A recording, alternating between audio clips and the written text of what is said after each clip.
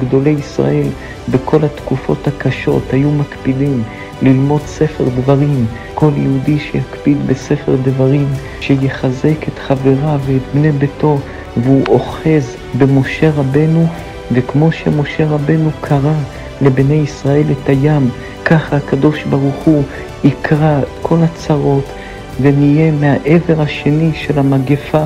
כל זה בכוח של ספר דברים.